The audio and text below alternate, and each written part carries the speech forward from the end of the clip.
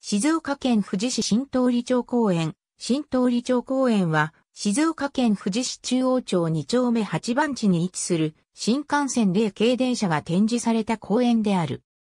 園内の案内板によると、この公園が日本で最初に新幹線を展示したとのこと。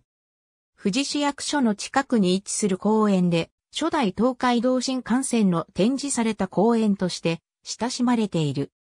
展示されている新幹線は、現存数が非常に少ない0系0番台と呼ばれる、開業当時の初期型モデルである。新幹線の中は、土曜日、日曜日、祭日の10時から15時まで開放され入ることができる。新幹線の中の客室部分のうち、後ろ半分は座席が置かれたままで、当時の面影が残っている。前半分は座席は取り除かれ、鉄道模型の展示場となっており、月に一度の割合で走行デモが開催される。客室から運転席へ入ることができ、ハンドルなどの操作器具は当時のまま残っており、自由に操作ことができる。公園は新幹線展示エリアと多目的エリアと分かれており、その間を8の字を描くように、ミニ SL 用の線路が引かれている。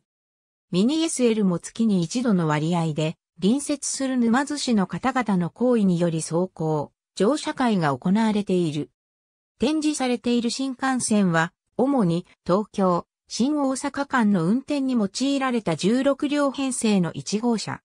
新幹線の1号車は常に大阪方面で、16号車は東京方面を向いて運転されており、また、新幹線の車両の製造から組み立て時も運転方向に合わせて作られた。